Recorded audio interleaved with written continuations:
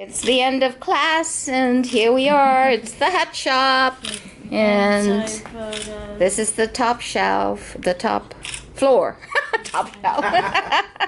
And so I really like these little side thingamabobs. You know, we'll put them back, put it back on so that we can see the whole thing. But I just wanted to get a little video going here. So there's some changes we want to make to make the stabilize this, but it's looking really good. Wow, this was so much fun. The hat shop is complete. Well, mostly complete. We still have this part of the roof to do. But um, I really like the way we did this. And it took a little doing figuring out exactly the placement of this.